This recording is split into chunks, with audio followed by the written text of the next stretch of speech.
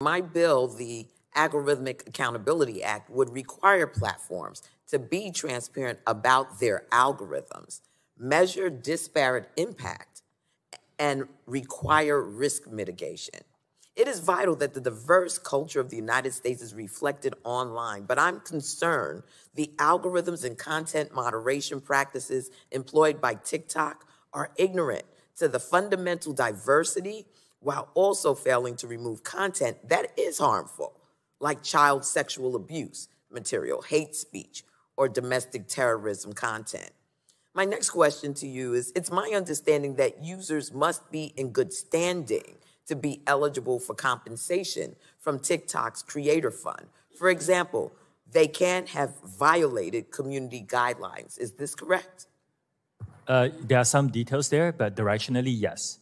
If TikTok's algorithm is flagging content incorrectly, resulting in creators violating community guidelines when in fact they have not, those creators would not be eligible to receive compensation under the Creator Fund, correct?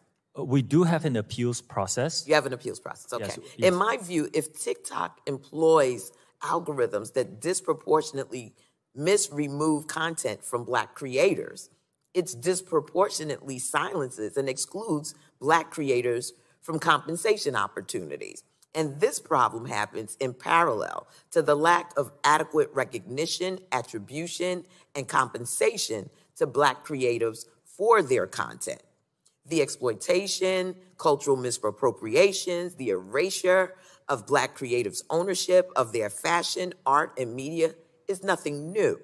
We need transparency, accountability, and bold action to mitigate against misinformation, bias, and exclusion of certain communities from the opportunities present on platforms like TikTok.